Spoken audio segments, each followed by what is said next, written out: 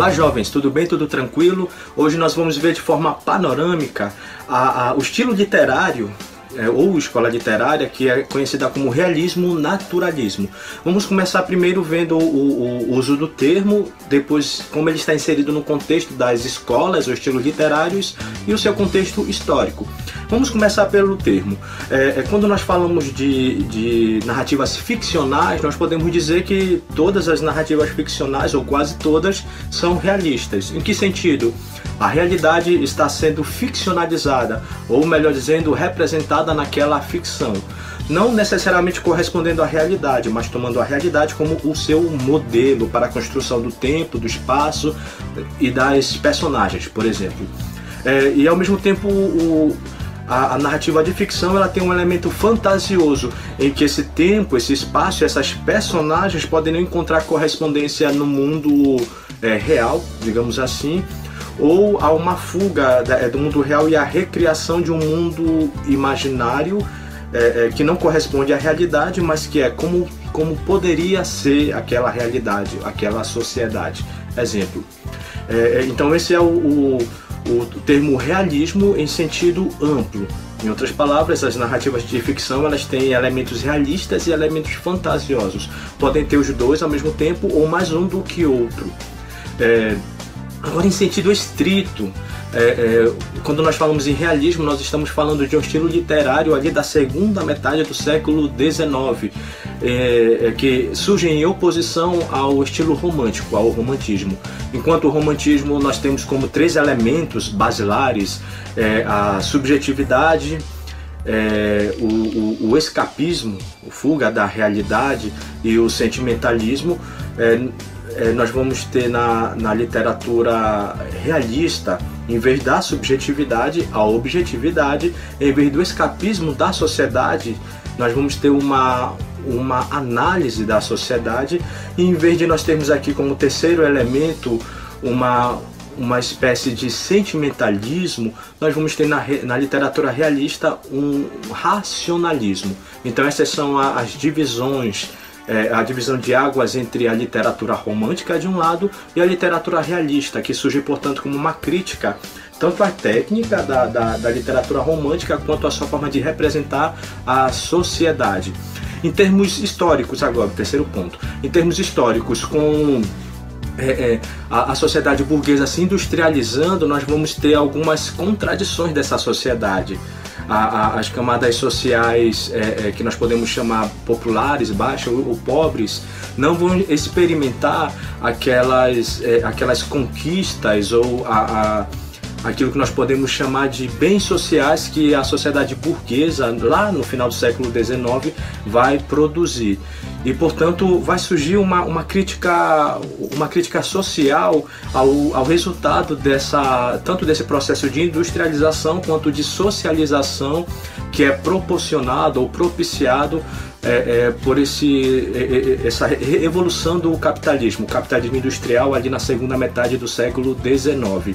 Então a, literatura realista ela vai se voltar fazendo uma, uma observação e uma crítica das contradições do que ela caracteriza como sociedade burguesa. Ah, dentro do, do, do, conjunto do estilo realista, ele é dividido em dois, em dois tipos: o realismo propriamente o naturalismo. E aqui no Brasil há um terceiro tipo que não é considerado exatamente um estilo, por ter, até onde nós sabemos, um representante, que é chamado de es, é, expressionismo, ou melhor dizendo, impressionismo. Aqui nós temos a, a um resumo. É, é, dessas duas categorias e desse terceiro que eu vou já explicar para vocês melhor.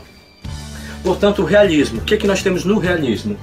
É, homem em sociedade, é, a ênfase é no homem na sociedade, aqui a sociedade retratada é a sociedade burguesa, e uma investigação psicológica das personagens.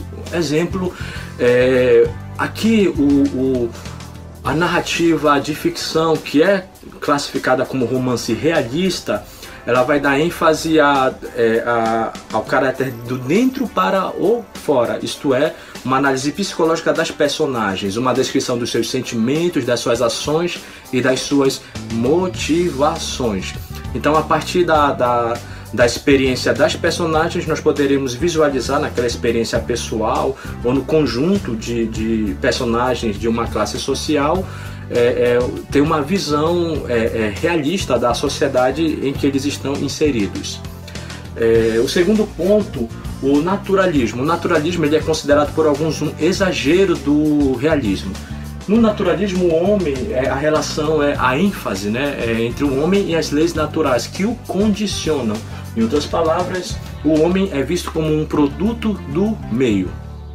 E, claro, para terminar, tendo apenas um representante, é, há alguns autores que consideram também uma variação do realismo, que é o impressionismo, que é aquela narrativa de ficção em que há um caráter descritivo das cenas, elas estão em ênfase, é uma, é, é uma narrativa de ficção intimista, autobiográfica, em que a personagem ela escreve no futuro, o narrador personagem, relembrando o seu passado, descrevendo e refletindo é, as impressões que ele teve daquela, daquela experiência.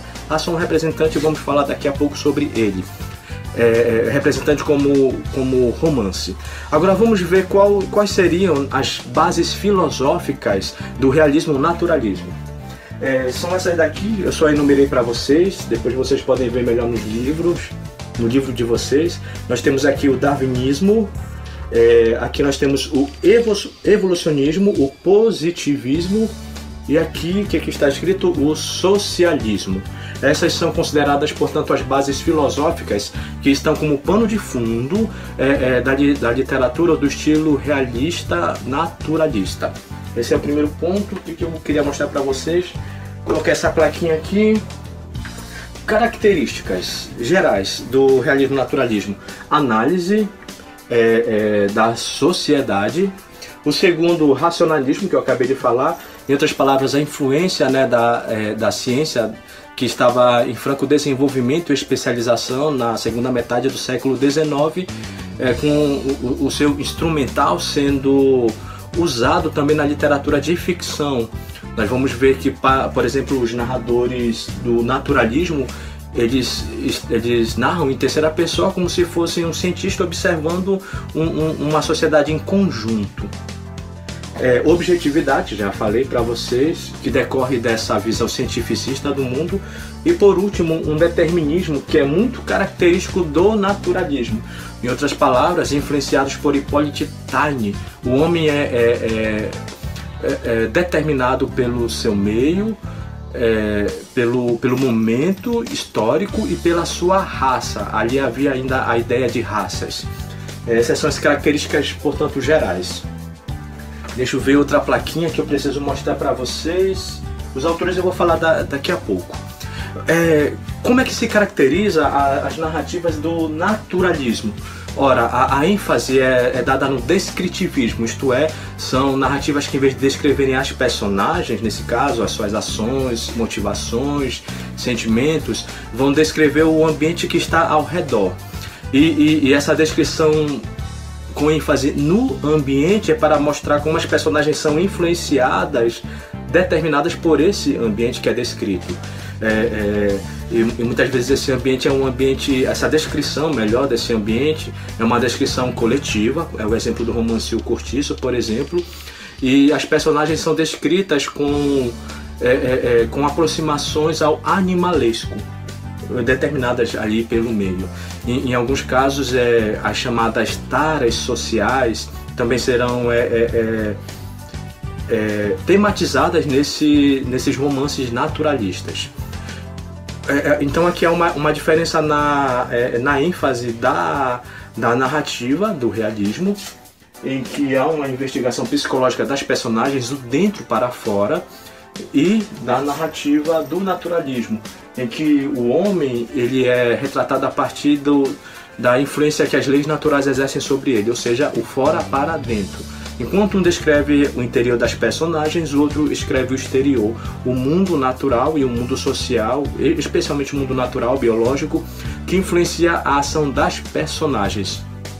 Para concluir esse panorama geral, deixa eu falar aqui sobre seus principais autores e obras. Nós vamos ter Machado de Assis com Memórias Póstumas de Brás Cubas e é, o outro aqui, Dom Casmurro, ele é considerado o maior é, romancista brasileiro. Nós vamos ter o Aloysio Azevedo com O Mulato, Casa de Pensão e O Cortiço.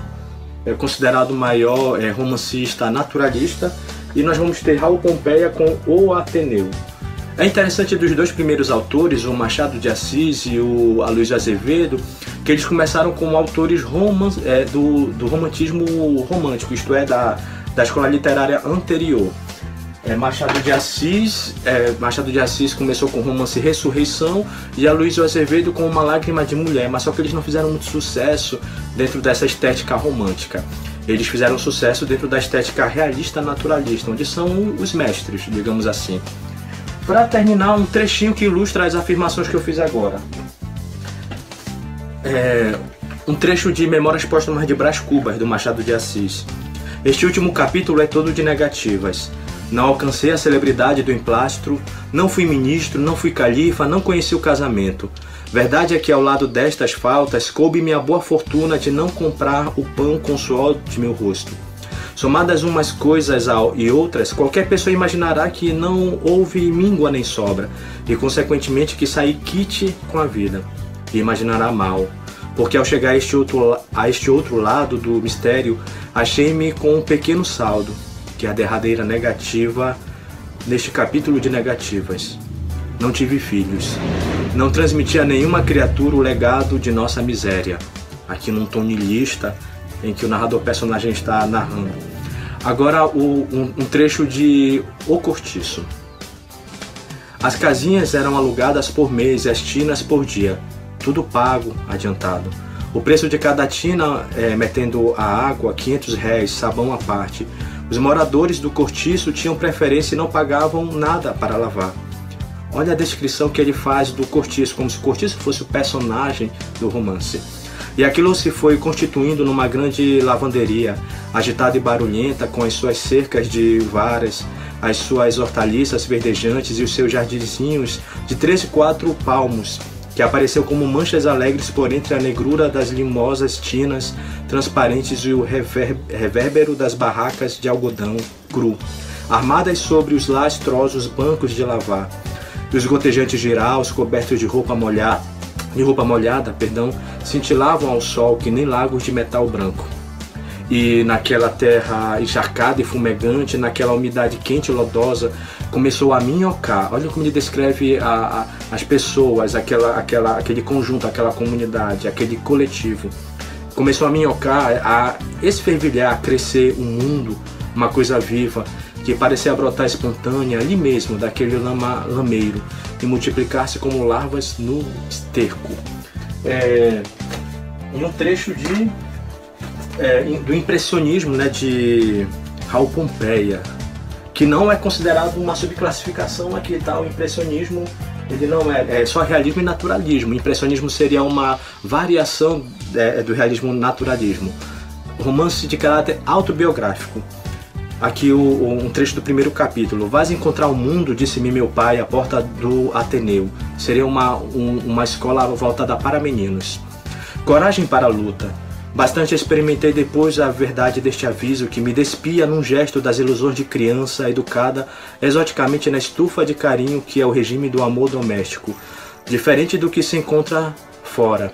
Tão diferente que parece o poema dos cuidados maternos um artifício sentimental, com a vantagem única de fazer mais sensível a criatura à impressão rude do primeiro ensinamento.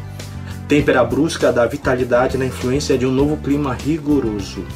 Vou terminar aqui esses trechos iniciais. Fica esse panorama geral para é, você dar uma analisada, ler o material que eu tenho mandado. E na próxima semana nós vamos fazer um pequeno exercício sobre o realismo naturalismo. Fiquem com Deus, até a próxima.